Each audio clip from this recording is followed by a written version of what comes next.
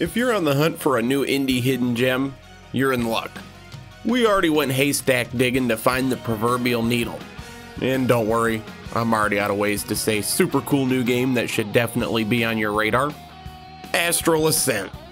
A platforming roguelite with speedy combat that totally gives Wizard of Legend plus Guacamelee vibes, which happen to be two games we put a ton of time in, even on this channel. Not sure if this reference is worth pointing out, but the way the character dialogue pops up during the story in the current state of Astral Ascent happily reminds me of Puzzle Quest. Oh, uh, by current state, I mean this game is in early access, meaning it's only going to get better and better.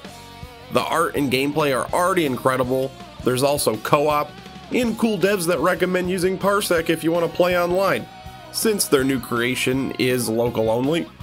If you're new here, and looking to play Astral Ascent online, let's get to it.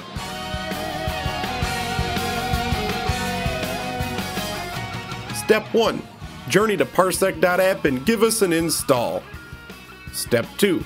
On your machine, open up your copy of Astral Ascent. Step 3. On your fancy new application, head over to the Computers tab or the Arcade tab and host Astral Ascent. There's a big link you can send out to your friends or anyone you want to join you. Once everyone's connected, you'll all see the same screen at the same time as if you were in the same place together. So, all that's left to do is plug in those controllers and take down the 12 Zodiacs.